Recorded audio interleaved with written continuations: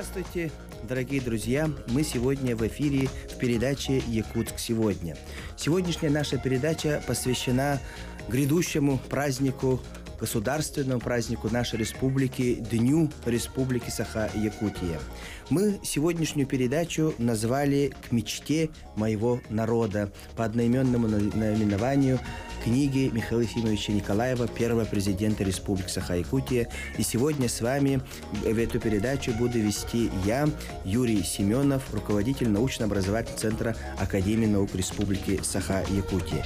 Вместе со мной в этот замечательный день пришли наши гости. Это Попов Сергей Валентинович, старший референт государственного советника Республики Саха-Якутия, помощник первого президента Республики Саха Михаила Ефимовича Николаева. Добрый, Добрый день. И э, Сидоров Олег Гаврилевич, заведующий кафедрой журналистики Северо-Восточного федерального университета имени Максима Кировича Мосова, колыбеля, интеллигенция нашей республики, кандидат филологических наук. Здравствуйте. Здравствуйте. Сегодня, безусловно, в преддверии столь большого, значимого дня нашей истории нашей республики, когда мы отмечаем две, на самом деле, большие даты в истории. Это 27 апреля, когда Э, была образована Якутская автономная Советская Социалистическая Республика. И в 1992 году, когда была принята Конституция, основной закон нашей республики. Дорогие друзья, мы работаем в прямом эфире. Телефоны 32 00 66 и 32 11 66. Вы можете позвонить, задать вопрос нашим гостям. Безусловно, в прошлом году Арсений Сергеевич, когда обращался к нации, он отметил, что этот день для нас является особенным. Не просто когда в 1922 году был подписан декрет об образовании Якутской АССР в составе Российской, Советского тогда Российской России. Именно в этот день республика обрела государственность. Были заложены крепкие основы развития экономики, масштабного промышленного освоения обширных территорий для укрепления сельского хозяйства на вечной мерзлоте и колоссального роста качества жизни республики, безусловно, по сравнению с Российской империей, советское время наше государство пережила огромный прорыв, а в 1992 году он отметил, что в этот день вступила Конституция, которая заложила основу всего развития республики на современном этапе. Арсений Сергеевич подчеркнул, что важность обретения государственности в 1922 году и принятие Конституции стали основой развития республики. Но мы, наверное, должны сегодня вспомнить, что эти два больших исторических момента появились не сиюминутно, что это был долгий процесс защиты интересов общества, народа, которые проживали в столь суровых климатических условиях в Якутии. Вот хочется вспомнить. Особенно в этот день вспоминают выдающихся сынов, отцов-основателей республики, Максима Кирилловича Мосова, Платона Сергеевича Юнского. Но необходимо сказать, ведь этот процесс начался намного раньше.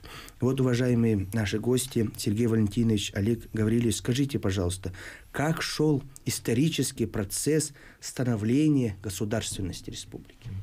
Да, вы, Юрий Иванович, совершенно правы. Это а, стремление к самоуправлению, да, это изначально, в общем-то, заложили наши выдающиеся деятели, а, как вот Сафрон Циранов, и особенно надо подчеркнуть роль Цегена Ржакова, да, а, Алексея Ивановича Ржакова, который в своем письме императрице Екатерине II отстаивал именно вот э, в том числе вопросы саморазвитие народа Саха, да, и потом следующий этап и степная дума, и весь 19 век он прошел именно под знаком э, добиться прав, больше прав, и в конце 19 в начале 20 века, конечно, деятельность э, Василия Васильевича Никифорова Кюлемнюра. Так что вот это непрерывный такой процесс, да, который начинался еще с древних времен. А, и, конечно, историки совершенно правы, да, так, академик Акланников в том числе, да, основы, э, так сказать, протогосударственности были заложены еще вот к приходу первых русских казаков, да, это времена э, Тыгын, Дархана, Легой Тойона, да, вот это совершенно то, что в прошлом году вышел фильм, и сколько он внимания привлек, да, это говорит о том, что вот народ это помнит, и вот э, этот процесс именно привел к тому, что в 1922 году наша республика получила государственность в виде автономной республики. Конечно, и весь 20 век к концу, уже в 1992 году, мы следующий этап, это уже, в общем-то, на другом уровне, да, вот развития государственности, конечно, которое и продолжается в наше время. Да, это, наверное, надо, безусловно, ценить, помнить, что сиюминутно никогда не появляется и никогда, наверное, не сдаваться. Это один из очень важных уроков для всех грядущих поколений, для нас, что вот достижение таких больших именно права, не просто вот отстаивать строительство одного здания, а, а, одной школы, как говорится, а именно бороться за право, именно право дает э, возможность что-то сделать. Вообще наш народ, мне кажется, очень счастливый благодаря нашим предкам. Мы должны быть очень благодарны. Я вспоминаю, будучи студентом, выпускником, как мы ютились в арендованных квартирах, а когда мы купили свою однушку, как были счастливы что это наша собственность. И мы платили ипотеку, несмотря на то, что вот это мое, я вкладывался. А наш народ имеет огромное счастье быть на такой огромной территории. И вот как правильно этим воспользоваться, это, безусловно, дает именно право. Вот, Сергей Валентинович, как вы считаете, как этот процесс, ну, как оценивать да, это? конечно, прежде всего хотелось бы поздравить наш народ. Мы стоим в преддверии великой даты. Завтра начнется отчет э, того, что останется один год до столетия нашей государственности, ну, официальной государственности. И, э, конечно, в этот день хотелось бы вспомнить о деяниях наших великих пращуров, о деяниях наших, э, так сказать, лидеров. Это, как вы сказали, э, Амосов, Барахов, там, да, Ким Оюнский и так далее. И вот очень интересно, да. Конечно, мы э, не, не говорим, что вот 27 э, апреля было специально выбрано, чтобы принять нашу Конституцию в 92 году, да. Но, тем не менее, в следующем году мы будем отмечать еще, еще другую круглую дату, да, 25 У нас поступил э, звонок. Да, говорите, пожалуйста. А, доброе утро. Здравствуйте. Участники вот прямого эфира. Я бы хотел вас поздравить и весь э, наш э, народ Республики Саха с наступающим огромным, самым значимым, самым видным Спасибо. праздником Спасибо. Дням Республики. А вопрос у меня такой, это Хангаласский улус Валерий Иванович Артюшкин. Я в 92 году был в инициативной группе Михаила Ефимовича Николаева. И вот я хотел бы услышать, чтобы вот эти ребята, которые там здесь находятся, которые принимали непосредственно участие в перестройке, в становлении государственности, подчеркнули именно вот действия Михаила Ефимовича Николаева – по вот э, именно Сахатылы, Сахатылы Лехачев. И вот он как пробивал эти законы, как для республики старался, вот чтобы они объяснили, как он с федералами, вот можно сказать, даже воевал и пробивал наши законы, суверенитет и прочие, конституцию. Это сделал Михаил Ефимович Николаев. Спасибо большое. Спасибо, Валерий Иванович, спасибо. Да, спасибо конечно, конечно. Э, спасибо большое за вопрос. Очень э, сейчас э, волнующая тема. И в, в этом свете хотелось бы напомнить, что наш э, НВК «Саха», который учредил в свое время тоже Михаил Фомич Николаев, завтра э, в 16, если не, не ошибаюсь, 18-15 выпустит большое интервью э, Михаила Фомича Николаева о, о вот, Дне государственности, как он все это видит, как э, у него все это сложилось. Да, и хотелось бы призывать наших телезрителей, радиозрителей, чтобы они присоединились к эфиру и посмотрели наш НВК «Саха». Ну, что касается а, большой работы с федералами, конечно, мы все э, свидетели вот этих крупных э, наших событий. Это э, принятие декларации государственного суверенитета, это подписание федеративного договора, это подписание договора с 15 министерствами о экономическом сотрудничестве, это крупные наши, так сказать, э, знаковые события, такие как принятие нашего герба, гимна, флага, символа государственности, это и, и наша Конституция, о которой мы сейчас сегодня говорим. И э, несомненно, сначала Михаил Ефимович Николаев ставил эти вопросы перед союзным ведомством, да, чтобы э, наша республика получила все-таки право какое-то право распоряжаться собственно, соб, своей собственностью, которая находится на территории республики, да, чтобы это были не отчисления, а это были, чтобы э, наши свои доходы. Да. Потом те же вопросы Михаил Ефимович Николаев ставил перед федеральными ведомствами, потому что по э, государственной наследуемости все эти права перешли к Российской Федерации, и мы все помним его выступление в Верховном Совете Российской Федерации, где он ставил очень жестко такие вопросы, чтобы э, мы не прозябали, не прозябали в чтобы мы получили, так сказать, э, свое право развиваться. Вот, э, Ильич, что вы на это скажете? Да, вот Сергей очень правильно сказал. Это начиналось именно с союзных ведомств. Это Михаил Ильич был избран в декабре 1989 года председателем Президиума Верховного Совета Якутской автономной Советской Социалистической Республики тогда, да. И вот с тех Э, вот с этой даты надо вести, наверное, уже даже отчет э, новой истории нашей Якутии, потому что Михаил Ефимович сразу выстраивал отношения с окружением вот тогдашнего Центрального комитета партии, который возглавлял Михаил Сергеевич Горбачев, потому что а, тогдашнее вот это э, руководство страны включало Михаила Ефимовича и в состав правительственных делегаций, э, например, вот в Корею, да, тогда. И еще Михаил Ефимович добился приезда премьер-министра СССР Валентина Павлова, да, мне кажется, это тоже очень важные вехи.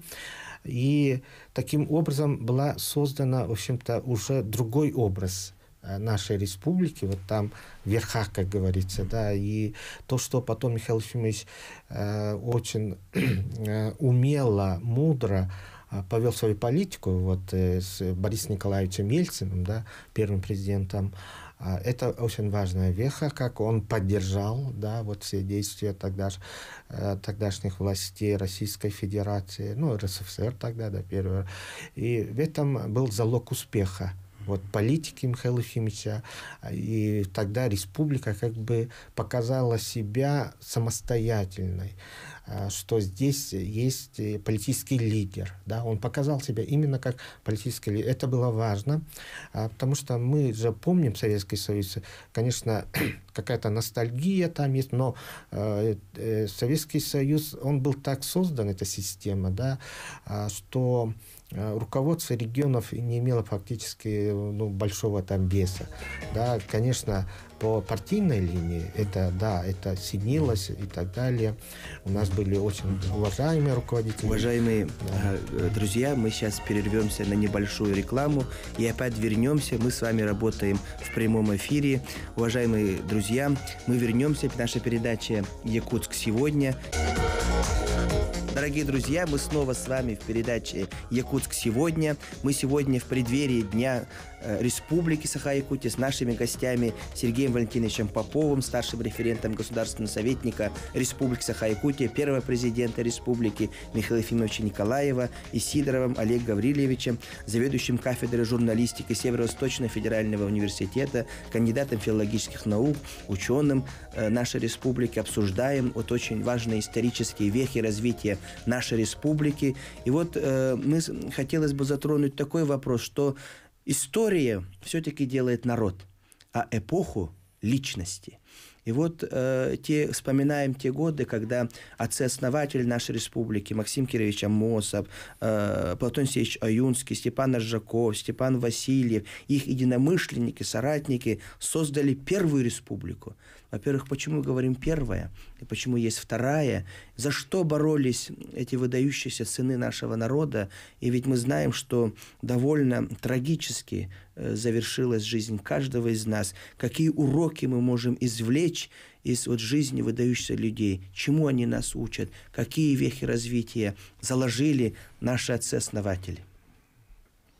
Ну, э, вопрос, конечно, очень злободневный для нас – мы э, до сих пор как бы все э, даже не знаем, где захоронен Алексеевич Юнский, да, это очень такая для нас, для всех якутов э, болезненная тема, но тем не менее мы знаем, что в свое время их усилия и работа в Центральном комитете в Москве и в республике увенчалась, мы скажем, большим успехом, и была создана все-таки республика, хотя бы в усечен, усеченном в правах в виде, в виде автономии, но, тем не менее, были обозначены границы наши существующие, были э, созданы районы, 33 района, да, и э, не столько, наверное, э, это мы говорим о Первой Республике, не столько в плане того, что вот какие-то большие э, народ получил право, право суверенитета, да, а в том плане, что мы э, получ, получили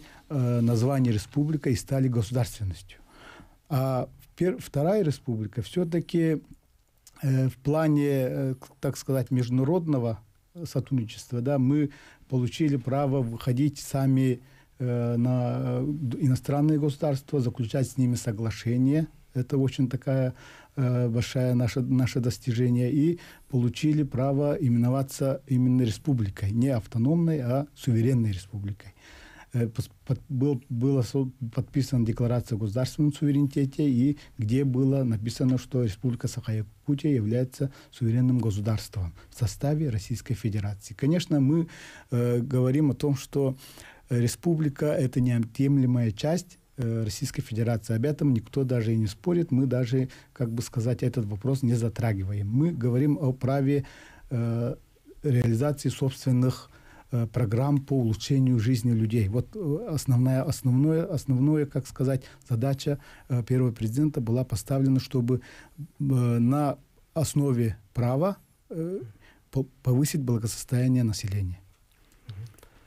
Да, вот Сергей тоже очень совершенно прав. Да, вот э, то, что э, принятые решения а, и вот в начале да, 1922-20-х годах, потом 90-х, они в чем-то, да, а, как бы продолжение друг друга, да, и а тех политиков, да, которые подготовили и которые реализовали автономную республику, потом уже в 90-х Михаил Ефимович и его соратники, это уже суверенную республику, это их, мне кажется, объединяет вот мужество, мужественность, как политиков, да, а как э, государственных деятелей. Как людей. Как, да, конечно, как личности. Это а, совершенно, э, ну, как, как бы э, видно, из, если мы изучаем их деятельность, и документы, речи, доклады, которые они произносили, которые они отстаивали, для этого нужно было мужество. Вначале нужно было доказать перед э, ну, правительством э, государственным, э, российским, да, и в том случае, и в этом, поэтому вот их это объединяет. Еще их объединяет то, что они добивались вот этих прав, Якутии, чтобы добиться такого устойчивого развития. Да? Но это как бы современное понятие. Мы все сейчас говорим устойчивое развитие и так далее. Да? Но и в начале вот, 20 века, тем более вот 20-х годах, когда Якутия получила статус автономной республики, вот этот вопрос был очень актуальным, да, добиться устойчивого развития а, э, и в экономике, в общественной жизни, в науке, культуре, то есть во всех сферах. Это постоянное а, такое поступательное развитие. Это, и, конечно, многое э, не только зависело от, от самой нашей республики, от наших, но в том числе, конечно, от тех процессов, процессов, которые происходили в стране, да, РСФСР, СССР, потом уже в Российской Федерации. И здесь, мне кажется, важна вот роль Михаила Ефимовича, который видел э, далеко за горизонт. У нас поступил телефонный звонок. Здравствуйте, говорите, пожалуйста, вы в прямом эфире. А, да, а, я просто вот смотрю, да, передачу вашу на прямом эфире, да, вот э, насчет э, Михаила Ефимовича Николаева, первого президента. Да. Я с ним работала. И он, вот этот президент, наш первый, да, добился э, сельцев, чтобы оставались, вот мы же добываем недра, вот алмазы, золото, и всю Менделеевскую таблицу, да, и он добился того, чтобы хотя бы 3% остались на территории Якутии. И вот когда он этого добился, у нас эти э, медцентры построили, э, спортивные эти комплексы построили. Это благодаря первому президенту Михаилу Филовичу Николаеву. мақтал кенеха. Спасибо большое. Спасибо. С праздником вас, нашей республики. Вот, дорогие друзья, безусловно, вот Олег Григорьевич сказал очень важную вещь – мужество. Наверное, должно быть мужество, огромное мужество у каждого человека в развитии своей страны. Сергей Валентинович тоже подчеркнул, что вот мы никогда... Есть много разных манипуляций, которые вот пытаются сказать, что Якутия, другие республики пытались отделиться. В республике такого не было. Никогда мы всегда в составе великой нашей страны России его мы хотели стать форпостом развития нашего государства на северо-востоке России, в Азиатско-Тихоокеанском регионе. И мне кажется, безусловно, наша республика э, добивается таких успехов не только своими достижениями, своим трудом, своим вкладом в развитие нашей страны. И вот, безусловно, наши отцы-основатели республики, они опирались на тех исторических. И вот надо сказать, что любой управленец добьется успеха, говорит китайская мудрость, когда сохраняется преемственность. И вот в политике первого президентства была преемственность идей отцов-основателей республики. У них была преемственность тех выдающихся сынов, как, э, которые отстаивали права перед русским царем и так далее. И вот сохранение таких э, преемственностей, безусловно, дает очень хорошие положительные плоды. И вот, э, говоря, вспоминаем сегодня много о первом президенте. В 1992 году Верховный Совет 12 созыва, исторический, который принял Конституцию там э, давали основные, э, скажем, плоды сегодняшней деятельности. Вот какие были особенности по сравнению с... У нас, э, мы сейчас об этом заговорим, у нас телефон. Говорите, пожалуйста, вы в прямом эфире. Алло. Здравствуйте, вы в прямом а, эфире. Өте күннен. А, Олег Гавриловичке мен вопрос берехім барабын. Истевен. А, Лиля журналист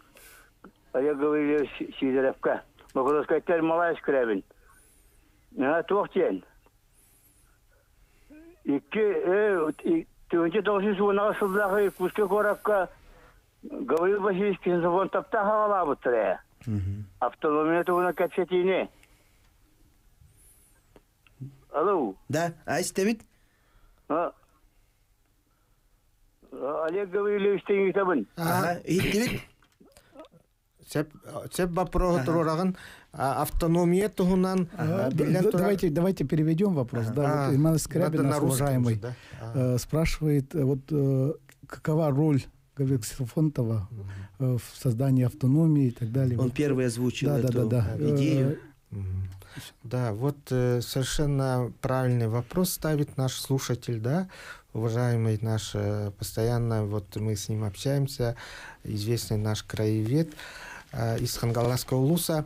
А, да, вот впервые об автономии, а, конечно, вопрос а, поставил, в том числе и Кулюмнют Никифор Василий Васильевич и Гаврил Васильевич Ксенофонтов. Он участвовал именно вот э, в движении э, сибирской автоно, автономии, да.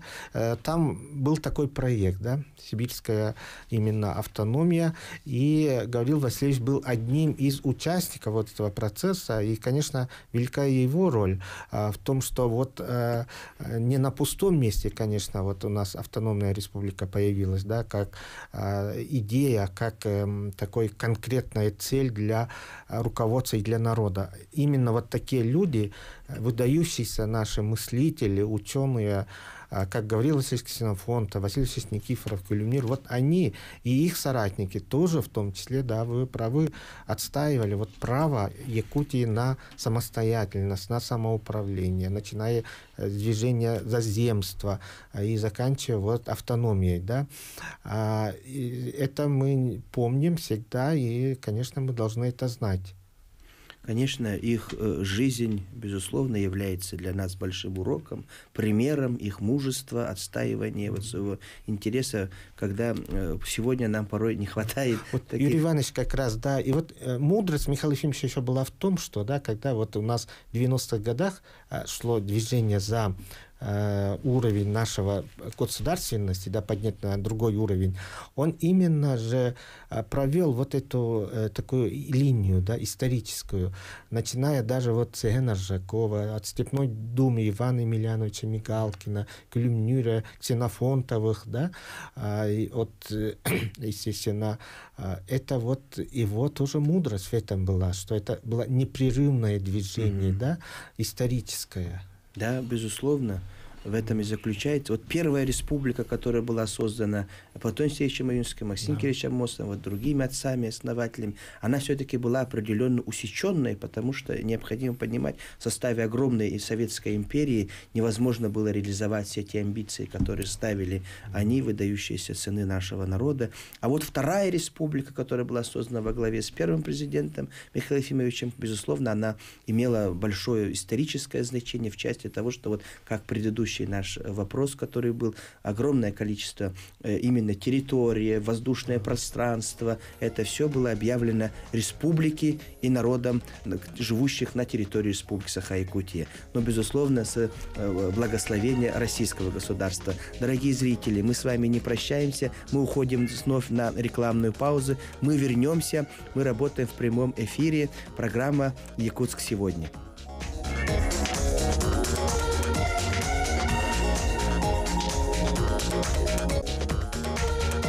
Друзья, мы снова в прямом эфире. Программа «Якутск сегодня». Мы сегодня в преддверии Дня государственности обсуждаем этот выдающийся в истории нашей республики праздник.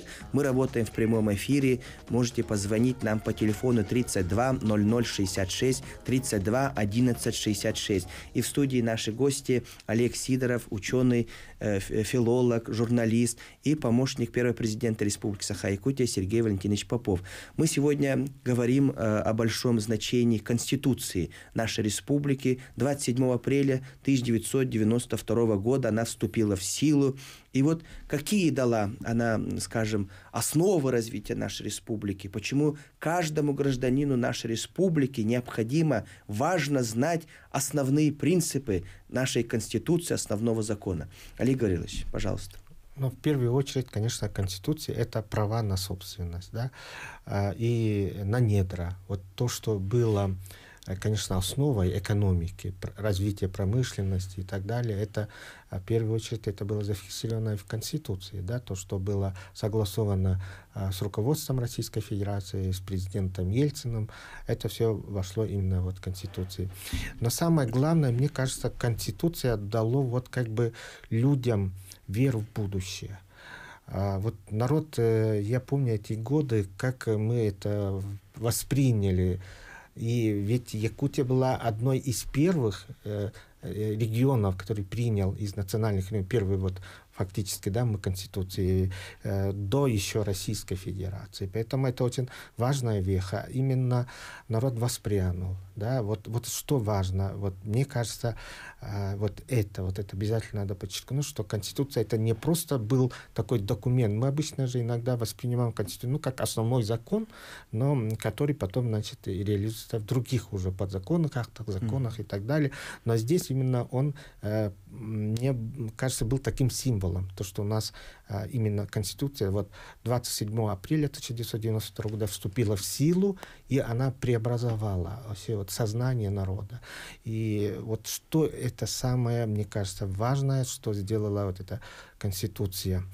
А, э, Михаил Ефимович, он же как раз опирался на человеческий капитал, да, а, как у него было это название, «Выбираю свободу, свободу и, человека». человека. Вот что. И в этом, а, вот, мне кажется, очень велика заслуга именно как образа, символа вот этой Конституции. Безусловно, Конституция – это основы, основы всего, это права, свободы человека, гражданина, хозяйственной, экономической деятельности, и на основе него делаются все остальные законы – нормативный проект, указы и так далее, во его исполнение, в соответствии с ним, и ничего другого не может быть противоречащего Конституции. Поэтому очень важно знать со школьной скамьи, родителям, коллегам, всем знать Конституцию. Поэтому мы призываем всех – кто живет на территории республики, изучать, э, э, беречь свою конституцию. В 1992 году, 27 апреля, в своем выступлении в честь принятия конституции, первый президент сказал очень значимую речь. Среди его слов звучало «В истории Якутии немало страниц, которые знаменуют вехи в неустанной борьбе народов, проживающих на этой древней земле, за лучшую жизнь, за осуществление своих чаяний». Отныне Республика Саха – равноправный член большой семьи республик, входящих в состав великого и могущественного государства Российской Федерации России. Перед народами Республики Саха Конституция раскрывает новые возможности для свободного труда, всестороннего применения творческих сил – гражданам гарантируются права и свободы, ставшие достоянием всего цивилизованного мира. Безусловно, Конституция 92 года, вот Сергей Валентинович раскрыла, и вот мы знаем, когда вся Россия переживала страшные те годы э, э события социально-экономическом, политическом плане, а в республике Саха-Якутия все-таки был определенный дух – свободы, стабильности. стабильности и вот процветания. Безусловно, это заслуга народа. Как можно этот период охарактеризовать, Сергей Валентинович? Ну, наверное, это все-таки, так сказать, э, вопрос э, развития. Это, во-первых, мы имеем в виду э, э, как бы смелости, мы же затронули государственной смелости, государственной деятельности, да, и, конечно, в этом плане мы не можем обойти э, исторически один момент такой, где э, первый президент, будучи председателем Верховного Совета, э, выслал телеграмму в союзное ведомство с тем, что мы отказываемся отгружать э, золото, алмазы э, в союзное э, Минфин с тем, чтобы разграничить все-таки э, привести в соответствие со существующими законами наши взаимоотношения – Поэтому на основе этого было создано наше государственное хранилище собственное. Да? И мы знаем, что первый алмаз, который был передан фонд Гохрана Российской Федерации от имени Якутии, э, был назван э, Великой Россией.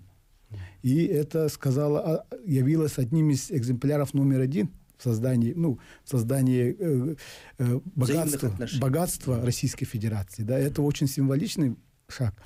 Потом э, была создана наша, принят закон о собственности Российской Федерации, ну, Республики Саха, да, извиняюсь, в 91 году. И, несомненно, Конституция стала э, тем фундаментом, на котором э, в законных основаниях все вот эти законные и подзаконные акты были приведены в соответствие вот двух конституций Российской Федерации. Мы знаем, что Михаил Ефимович Николаев в качестве члена Конституционного совета Российской Федерации принимал самое активное участие в, в, э, в создании Конституции Российской Федерации. Да? И, э, несомненно, мы знаем, что э, те последующие его шаги, там э, все эти законы о недрах, законы о собственности. А у нас телефонный mm-hmm. звонок. Ага. Здравствуйте, говорите, пожалуйста, вы в прямом эфире. Здравствуйте, здравствуйте. Бу мен хака эмасина Эспек Валентина Христофоровна деммен. Ага, үтө күнне Валентина Христофоровна. Ото эстоктор батулулар токтар эги истибикке болу ото туак ден дехи дехи халара дени истибикке то хаханеби истен истен о красноярский